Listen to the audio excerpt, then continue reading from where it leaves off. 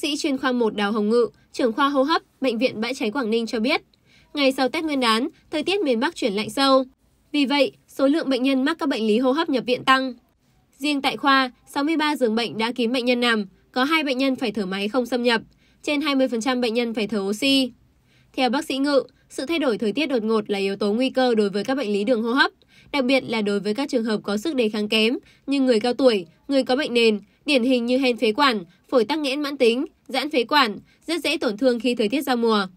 Không khí đi vào cơ thể thường được các cơ quan hô hấp mũi, miệng, sưởi ấm.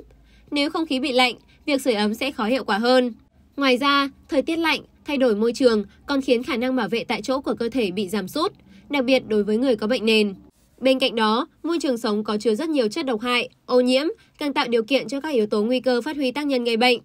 Trong điều kiện thời tiết như hiện tại, bác sĩ khuyến cáo, người cao tuổi cần thực hiện các biện pháp phòng bệnh như sau. Thứ nhất là thường xuyên tự theo dõi huyết áp của mình nếu như có thể.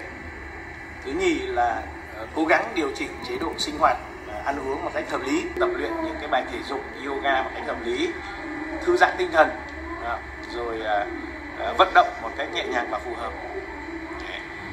à, bên cạnh đó thì à,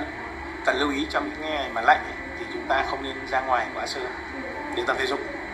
Mặc dù tập thể dục là rất tốt nhưng nếu nếu ra ngoài sớm quá bị lạnh thì nó có thể gây nên những cái hệ lụy.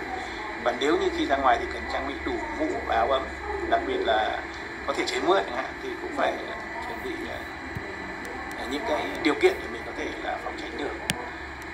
và trên tất cả thì tóm lại là cần phải lắng nghe cái sức khỏe của mình và có một cái thái độ một cái trách nhiệm ờ, tốt nhất với ờ, ờ, cơ thể của mình thì chúng ta sẽ có thể phòng tránh được những cái bệnh lý hoặc là những cái tình trạng đáng tiếc mà có thể xảy ra. Ngoài ra, giữ ấm cơ thể, đeo khẩu trang trong môi trường lạnh ẩm và ô nhiễm, điều trị sớm và triệt để các đợt nhiễm trùng đường hô hấp, thường xuyên vệ sinh răng miệng để tránh nhiễm khuẩn, vi khuẩn đi xuống cơ quan hô hấp gây bệnh. Tránh các thức ăn đã từng gây dị ứng hoặc có thành phần sulfit thường thấy trong các chất bảo quản thực phẩm như hoa quả khô, bia rượu đã qua chế biến, vì thường gây các cơn hen. Và cuối cùng, cần tiêm vaccine phòng bệnh đường hô hấp. Khi có các dấu hiệu mắc bệnh hô hấp, người bệnh cần đi khám chuyên khoa hô hấp để có chỉ định điều trị hợp lý và hiệu quả.